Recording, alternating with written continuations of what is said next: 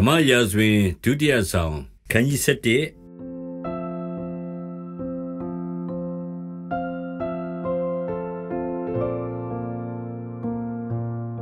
အခါလေ၍ရှင်ဘီရင်တို့သည်စစ်တိုက်ခြင်းရောက်သောအခါဒါဝိဒ်သည်ယောဘနှင့်ကျွန်များဣဒရေလအမျိုးသားများအပေါင်းတို့ကိုဆေလွတ်သဖြင့်သူတို့သည်အာမုန်အမျိုးသားတို့ကိုတိုက်ဖျက်၍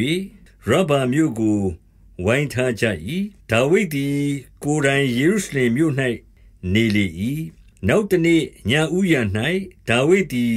လျောင်းဆက်ရာမှထ၍နန်းတော်မူပေါ်မှစင်ကြံသွားစဉ်တွင် အလွန်အစင်းလှသော မိမတယောက်ရေချိုးသည်ကို မြင်တော်မူ၏ထိုမိမကအဘယ်သူနည်းဟုဆေလွတ်၍မေးမြန်းလျင်အေလျံသမီးဟိတ်တိလူဥရိယဤမယား ဘာသရှေဘဖြစ်ပါသည်ဟုလျှောက်လေ၏တဖန်လူကိုဆေလွတ်သဖြင့်ထိုမိမကိုအထံတော်သို့ခေါ်ခဲ့၍ရှက်တင်လေ၏ထိုမိမသည်မိမိအညစ်အကြေးနှင့်စင်ကြယ်အောင်ပြု၍မိမိအိမ်သို့ပြန်ပြီးမှပရိသေရီရှိသဖြင့်ဒါဝိဒ်ထံသို့လူကိုဆေလွတ်၍ကျွန်မ၌ပရိသေရီရှိပါ၏ဟုလျှောက်စေသောဒါဝိဒ်သည်ယောဘစီသို့လူကိုဆေလွတ်၍ ဟိတ်တိလူဥရိယကိုငါထံသို့ဆေလွတ်ရမည်ဟုမှားလိုက်သည့်အတိုင်းယောဘသည်ဆေလွတ်၍ဥရိယရောက်လာသောအခါဒါဝိဒ်ကယောဘကျမ်းမာ၏လော လူများကျမ်းမာ၏လောစစ်တိုက်၍အောင်မြင်သလိုဟု မေးမြန်းပြီးမှတင့်အိမ်သို့တွား၍ခြေဆေးလောဟု မိန်တော်မူသည့်အတိုင်းဥရိယသည်နန်းတော်မှထွက်၍သူ့နောက်မှခဲဘွယ်စားဘွယ်ကိုရှင်မြင်း ပေးလိုက်လေ၏တို့ရတွင်ဥရိယသည်မိမိအိမ်သို့မတွားဘဲမိမိအရှင်ဤကျွန်အပေါင်းတို့နှင့်အတူနန်းတော်တကားဝ၌အိပ်လေ၏ဥရိယသည်မိမိအိမ်သို့မတွားကြောင်းကို နားတော်လျှောက်လင်ဒါဝိဒ်ကတင်သည်ခရီးတွားရမှ ရောက်လာသည်မဟုတ်လောတင့်အိမ်သို့အဘယ်ကြောင့်မတွားဘဲနေသနည်းဟုဥရိယကိုမေးတော်ဥရိယကတစ်တာတော်နှင့်ဣဒရေလအမျိုး ယူဒအမျိုးသားတို့သည်တဲ၌နေကြပါ၏သခင်ယောဘနှင့်သခင်ဤကျွန်များတို့သည် လွင်ပြင်၌တဲရကြပါ၏ကျွန်တော်သည်ကိုအိမ်သို့တွား၍စားတော့လျက်မယားနှင့်ပျော်မွေ့လျက်နေသင့်ပါမည်လောကိုရောအသက်ရှင်တော်မူသည့်အတိုင်းထိုတို့ကျွန်တော်မပြုပါဟုဒါဝိဒ်အားလျှောက်လေ၏ဒါဝိဒ်ကလည်းဤမြို့၌ယနေ့နေဦးလောနက်ဖြန်နေ့ငါလွှတ်လိုက်မည်ဟု မိန်တော်မူသည့်တိုင်ဥရိယသည် ထိုနေ့နက်ဖြန်နေ့ ယေရုရှလင်မြို့၌နေ၏ဒါဝိဒ်သည်လည်း ဥရိယကိုခေါ်၍ရှေ့တော်၌စားတော့လျက်ရစ်မှုသည့်တိုင်အောင်တောက်ရ၏သို့တော်လည်းညာဥမှမိမိအိမ်သို့မတော်ဘဲ အရှင်ဤကျွန်တို့နှင့်အတူ အိတ်ချင်းငှာထွက်သွားလေ၏နန်းနှင့်မှဒါဝိဒ်သည် မှားစာကိုရေး၍ဥရိယလက်တွင် ယွာဘသို့ပေးလိုက်၏မှားစာချက်ဟုမူကား ကြက်တီးစွာစစ်တိုက်ရာတပ်ဦး၌ဥရိယကိုခန့်ထားပြီးမှ သူသည်ရန်သူလက်သို့ရောက်၍သေစေခြင်းငှာတပ်များကိုရုပ်သိမ်းလော့ဟုပါသည်အမိန်တော်တိုင်းယောဘသည်မြို့ကိုကြည့်ရှုပြီးမှခွန်အားကြီးသောသူရဲ့ရှိရာအရ၌ဥရိယကိုခန့်ထားလေ၏မြို့သားတို့သည်ထွက်၍ယောဘနှင့်စစ်ပြိုင်သောအခါဒါဝိဒ်၏ကျွန်အချို့တို့သည်သေကြ၏ ဟိတ်တိလူဥရိယသည်လည်းသေ၏ထိုနောက်ယောဘသည်စစ်တည်အလုံးစုံကိုဒါဝိဒ်အားကြားလျှောက်စေခြင်းဟာလူကိုခေါ်၍တင်သည်ရှင်မင်းထံတော်၌စစ်တည်ကိုအကုန်စင်ကြားလျှောက်ပြီးလျှင်ရှင်မင်းသည်အမျက်တော်ထွက်၍တင်တို့သည်စစ်ပြိုင်သောအခါမြို့နီးသို့အဘယ်ကြောင့်ချင်းကပ်ကြသနည်းမြို့ရိုးပေါ်ကပြစ်မီကိုမတိလော ယေရုဘေရှက်သားအဟိမလက်ကိုအဘယ်သူလောက်ကြံသနည်းတေဘဲ့မြို့မှာမိမတယောက်သည်ကျိတ်ဆုံကြောက်တစ်ဖက်ကိုမြို့ရိုးပေါ်ကပြစ်ချ၍အဟိမလက်တေသည်မဟုတ်လောမြို့ရိုးအနီးသို့အဘယ်ကြောင့်ချင်းကပ်သနည်းဟုမိန်တော်မူလျင်ကိုရိုဤကျွန်ဟိတ်တိလူဥရိယတေချောင်းကိုရှောက်ရမည်ဟုမှားထား၍စေလွတ်လေ၏ယောဘမှားထားသည့်အတိုင်းထိုတမန်သည်တွား၍ ဒါဝိဒ်အားကြားလျှောက်သည်ကားရန်သူတို့သည် အမှန်စင်စစ်ကျွန်တော်တို့ကိုနိုင်သဖြင့်လွင်ပြင်တိုင်အောင်လိုက်၍တိုက်ကြပါ၏ကျွန်တော်တို့သည်လည်းမြို့တကားဝတိုင်အောင်လှန်၍တိုက်ကြပါ၏။လေးသမားတို့သည်မြို့ရိုးပေါ်ကကိုရော့ကျွန်တို့ကိုပြစ်၍ကိုရော့ကျွန်အချို့သေးပါ၏။ကိုရော့ကျွန်ဟိတ်တိလူဥရိယသည်လည်းသေးပါ၏ဟုလျှောက်လျင် ဒါဝိဒ်ကလည်းဤအမှုကြောင့်စိတ်မပြည့်နှင့်စစ်တိုက်ပွဲတွင်တယောက်တစ်လှဲ့တည်တတ်၏အာယူ၍မြို့ကိုကြက်တီးစွာတိုက်လျက်လှုပ်ကြံတိုက်ဖြက်ကြလော့ဟုတမန်အားဖြင့်ယောဘကိုမှာလိုက်လေ၏ဥရိယတေချောင်းကို သူ၏မယားကြားသောအခါခေမွန်းကြောင့်ငိုကြွေးမိတမ်းလျက်နေ၏ငိုကြွေးမိတမ်းခြင်းလွန်မှဒါဝိဒ်သည်လူကိုဆေလွတ်၍ ထိုမိမကိုနန်းတော်သို့ခေါ်စေသဖြင့်သူသည်မိဖုရားအဖြစ်သို့ရောက်၍သားယောက်ျားကို ဖွားမြင်လေ၏တို့ရတွင်ဒါဝိဒ်ပြုသောအမှုသည်သာဝရဘုရားရှေ့တော်၌သိုးသောအမှုဖြစ်သည်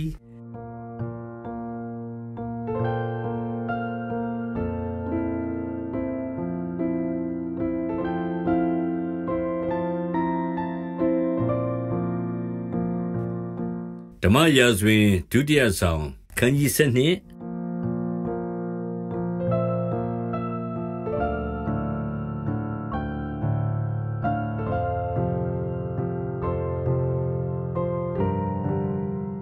နောက်တဖန်သာရဖျားသည်ပရောဖက်နာသန်ကိုဒါဝိဒ်ထံသို့ဆေလွတ်တော်မူသည်ဖြင့်နာသန်သည်ဝင်၍အရှင်မင်းကြီးဤမည်သောမြို့တွင်တတိတူဆင်းရဲသားတူရှိပါ၏ တထေးသည်အလွန်များစွာသောတိုးနွမ်းမှစသည်တို့နှင့်ကြွယ်ဝပြည့်စုံပါ၏ဆင်းရဲသားမူကားမိမိဝယ်၍မွေးစားသောတိုးမကလေးတကောင်တည်းမှတပါအခြားသောဥစ္စာမရှိပါ ထိုတိုးမကလေးသည် အရှင်နှင့်၎င်းအရှင်ဤသားသမီးတို့နှင့်၎င်းပေါင်း၍ကြီးပွား၏အရှင်ဤအစာကိုစားတတ်၏အရှင်ဤရေခွက်၌တောက်တတ်၏အရှင်ဤရင်ခွင်၌အိပ်၍သမီးကဲ့သို့ဖြစ်၏ တထေးအိမ်သို့ဧည့်သည်တူရောက်၍တထေးသည်ဧည့်သည်ကိုလှုပ်ကြွေးဖို့မိမိတိုးနွမ်းများကိုနှမျောသောကြောင့်မယူဆင်းရဲသားဤတိုးမကလေးကိုယူ၍ဧည့်သည်ကိုလှုပ်ကြွေးဖို့ချက်ပါသည်ဟုလျှောက်လေသောဒါဝိဒ်သည်ထိုတထေးကို ပြင်းစွာအမျက်ထွက်၍အာရဖျားအသက်ရှင်တော်မူသည့်အတိုင်းထိုတို့ပြုသောသူသည် အမှန်သေးရမည်ဂုဏစိတ်မရှိဘဲထိုအမှုကိုပြုသောကြောင့်ထိုတိုးမကလေးအတွက် လေးဆပြန်ပေးရမည်ဟု မိန်တော်မူ၏နာသန်ကလည်းထိုသူသည်ကားအခြားသူမဟုတ် ကိုရောပင်ဖြစ်ပါ၏ဤဒေလအမျိုး၏ဖျားသခင်သာရဖျားမိန်တော်မူသည်ကားငါသည်ဗိသိက်ပေး၍တင့်ကိုဣသရေလရှင်မင်းအရာ၌ခန့်ထားပြီးရှောလူလက်မှလည်းကယ်လွတ်ပြီးတင့်သခင်၏အဆွေအမျိုးကို၎င်းတင့်သခင်၏မယားတို့ကို၎င်းတင်ဤရင်ခွင်၌ငါအပ်ပေးပြီး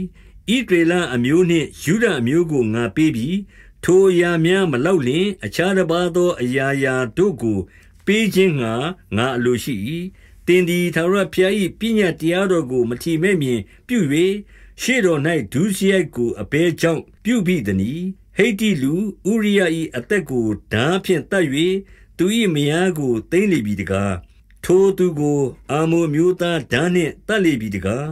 ယခုမှတင်ဒီငါကိုမထီမဲ့မြင်ပြု၍ဟိတ်တိလူဥရိယ၏မယားကိုသိမ့်သောကြောင့်တင့်အဆွေမျိုးတို့သည်ဓာဘေးနှင့်အစဉ်တွေ့ကြုံရကြလိမ့်မည်သာရဖျားမိန်တော်မူသည်ကားတင်၌ရံပဲ့ပြုသောသူကိုတင်ဤအဆွေအမျိုးတို့အထဲကငါပေါ်စေမည်တင်မျက်မှောက်တွင်တင်ဤမယားတို့ကိုငါယူ၍တင်အိမ်နီးချင်း၌အပ်သဖြင့်သူသည်နေရှိမှတင်ဤမယားတို့နှင့် ပေါင်းဖော်လိမ့်မည်တင်သည်ဤအမှုကိုမထင်မရှားပြုတော်လဲနေရှိမှငါလှံပြမိဟုဒါဝရဖျားမိန်တော်မူသောစကားကို ပြန်ကြားလေ၏ဒါဝိဒ်ကလည်းငါသည်ထာဝရဘုရားကိုပြစ်မှားပါပြီဟုနာသန်အားဝန်ချ၍နာသန်ကအသက်တော်ချမ်းသာစေခြင်းဟာထာဝရဘုရားသည်ကိုရောအပြစ်ကိုပယ်တော်မူပြီးသို့တော်လည်းကိုရောသည် ထိုတို့ပြစ်မှားသောအဖြစ်ကဲ့ရဲ့เสียအခွင့်ကြီးကို ထာဝရဘုရား၏ရန်သူတို့အားပေးသောကြောင့်ယခုမြင်သောသားသည်ဆက်ဆက်သေရမည်ဟုဒါဝိဒ်အားလျှောက်ဆိုပြီးမှနန်းတော်မှထွက်သွားသောနောက်ထာဝရဘုရားသည်ဒဏ်ခတ်တော်မူသည်ဖြင့်ဥရိယမယားတွင် ဖွားမြင်သောဒါဝိဒ်၏သားသည် ပြင်းစွာသောဝေဒနာကိုခံရ၏ဒါဝိဒ်သည်သူငယ်အတွက်ထာဝရဘုရားအားတောင်းပန်လေ၏အစာကိုရှောင်လျက်အထဲသို့ဝင်၍တညလုံးမြေပေါ်မှအိပ်လျက်နေ၏ နန်းတော်သားအသက်ကြီးသူတို့သည်ထ၍ကိုရကိုချီကြွအံ့သောငါချင်းကပ်ကြတော်လဲဒါဝိဒ်သည်ညင်းပယ်၍သူတို့နှင့်အတူအစာမစားဘဲနေ၏ခொနည်းစေတော်သူငယ်တည်၏ဒါဝိဒ်၏ကျွန်တို့ကလည်းသူငယ်အသက်ရှင်စဉ်ခါငါတို့လျှောက်သောစကားကို နားထောင်တော်မမူသည်ဖြစ်၍သူငယ်တေချောင်းကိုလျှောက်လျင် အလွန်ကိုကိုကိုညင်းဆဲတော်မူလိမ့်မည်ဟုဆိုလျက် သူငယ်တေချောင်းကိုမလျှောက်ဝန်းကြတို့ရတွင်ကျွန်တို့သည်တိုးတိုးပြောသောစကားကိုဒါဝိဒ်သည်ကြားလျင် သူငယ်တေချောင်းကိုရိပ်မိသည်ဖြင့်သူငယ်တေပြီလောဟုကျွန်တို့ကို မေးတော်မူ၏သူတို့ကလည်းသေပါပြီဟုလျှောက်ကြ၏ထိုအခါဒါဝိဒ်သည်မြေမှထ၍ရေချိုးခြင်းစီလိန်ခြင်းအဝတ်လဲခြင်းကိုပြုပြီးလျှင်ဒါဝရဖျား၏အိမ်တော်သို့တွား၍ကိုးကွယ်၏ ထိုနောက်နန်းတော်သို့ပြန်လာ၍စားစရာကို တောင်းသောအခါကျွန်တို့သည်စပွဲတော်ကိုပြင်၍မင်းကြီးသည် စားတော်မူ၏ကျွန်တို့ကလည်းကိုရိုသည်အဘယ်သို့ ပြုတော်မူသနည်းသူငယ်အသက်ရှင်စဉ်အခါသူငယ်အတွက်အစာရှောင်လျက်ငိုကြွေးလျက်နေတော်မူ၏သူငယ်တည်သောအခါထ၍စားတော်ခေါ်ပါသည်တကားဟုလျှောက်လျင်ဒါဝိဒ်က သူငယ်အသက်ရှင်စဉ်အခါဘုရားသခင်သည်ငါ့ကိုတနာတော်မူ၍သူငယ်အသက်ကိုချမ်းသာပေးတော်မူမည်မမူမည်ကိုအဘယ်သူဆိုနိုင်သနည်းဟု အောင်းမေးလျက်ငါသည်အစာရှောင်၍ငိုကြွေးလျက်နေ၏ယခုမှသူငယ်တည်ပြီးအဘယ်ကြောင့်အစာရှောင်ရမည်နီသူငယ်ကိုပြန်၍ဆောင်ခဲ့နိုင်သလောသူရှိရာသို့ငါတော်ရမည်သူသည်ငါရှိရာသို့မပြန်မလာရဟု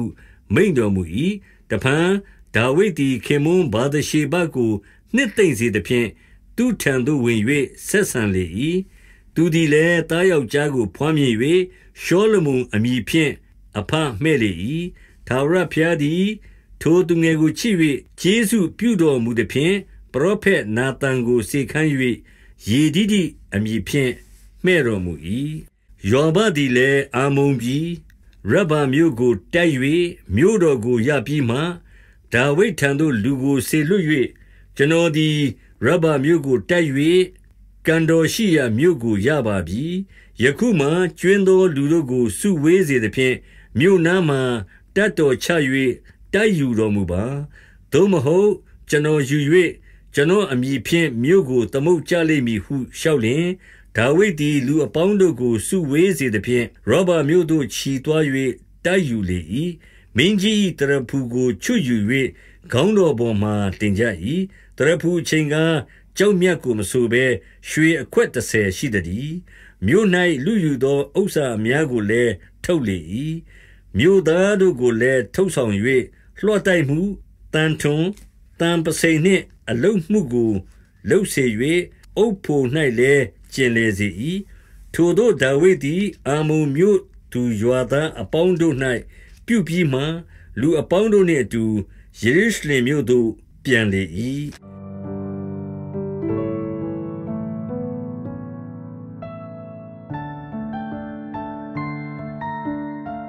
တမန်တော်ဝတ္ထုအခန်းကြီး၄အငယ်၁မှ22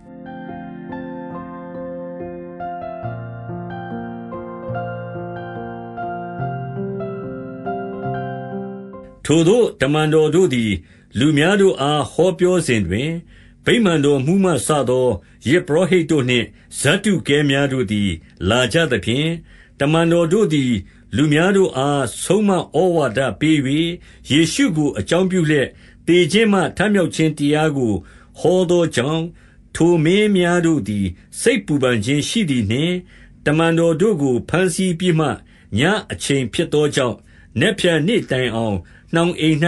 ချုပ်ထားကြ၏။တရားနာသောသူအများတို့သည် ယုံကြည်ခြင်းသို့ ရောက်၍အရေအတွက်အားဖြင့် လူငါးထောင်မျှလောက် ရှိကြ၏။နက်ဖြန်နေ့ရောက်သော် မင်းအရာရှိ၊လူအကြီးအကဲ၊ကျမ်းပြုဆရာတို့နှင့် ယဇ်ပုရောဟိတ်အန္နတ်၊ကယဖ၊ယောဟန်၊အာလေဇန္ဒြုမှစ၍ယဇ်ပုရောဟိတ်မင်းမျိုးရှိသမျှတို့သည် ယေရုရှလင်မြို့၌စုဝေးကြပြီးလျှင် တမန်တော်တို့ကို အလယ်၌ထား၍သင်တို့သည် အဘယ်သို့သောတန်ခိုး အဘယ်သူ၏နာမအားဖြင့် ဤအမှုကို ပြုသနည်းဟု မေးမြန်းကြ၏ထိုအခါ ပေတရုသည်တန်ရှင်းသောဝိညာဉ်တော်နှင့် ပြည့်လျက် လူများကို အစိုးရသောမင်းတို့နှင့်ဣဒရေလအမျိုး အကြီးအကဲတို့ အင်္ဂါချို့တဲ့သောသူကိုယေရှုပြု၍သူသည် အနာရောဂါနှင့် အဘယ်သို့ ကင်းလွတ်သနည်းဟု ငါတို့သည် ယနေ့အစစ်ခံရလျင် တင်တို့သည် လက်ဝါးကတိုင်မှကွတ်မြက်၍ဘုရားသခင်သည်တေခြင်းမှ ထမြောက်စေတော်မူသော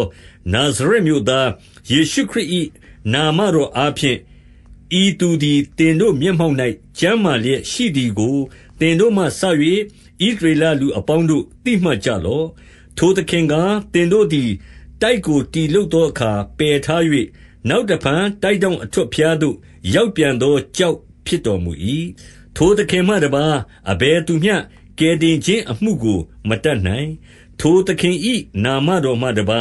ငါတို့ကို ကယ်တင်နိုင်သော နာမစုံတစ်ခုမျှ ကောင်းကင်အောက် လူတို့တွင် မပေါ်မရှိဟု ပေတရုသည် ထိုသူတို့အားမွဲ့ဆို၏ထိုသူတို့သည် ပေတရုနှင့် ယောဟန်တို့၏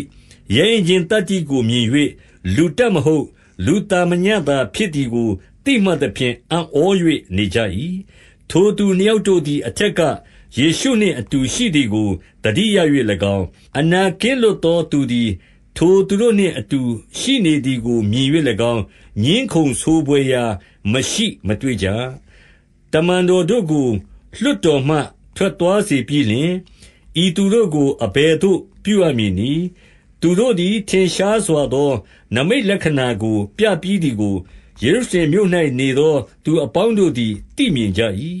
ငါတို့သည်လည်းငင်းခုန်ခြင်းဟံမတတ်နိုင်ပြီ သို့တော်လည်း လူအများထဲ၌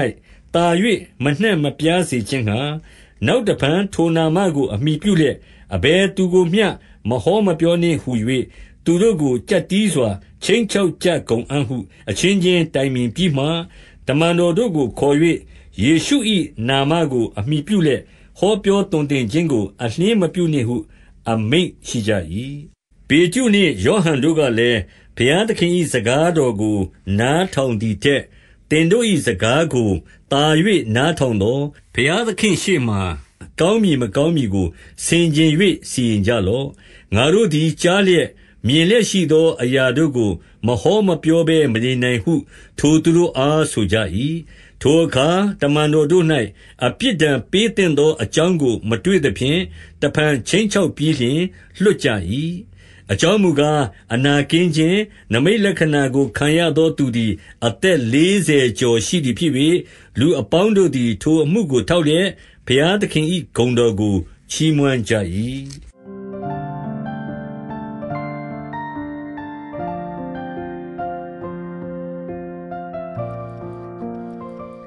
ဆာလံကျမ်းအခန်းကြီး81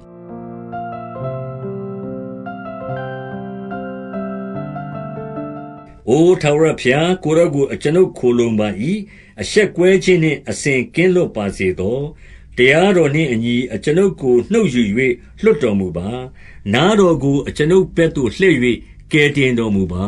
အကျွန်ုပ်အစဉ်ရောက်၍နေရာကျသောကြောက်ဖြစ်တော်မူပါ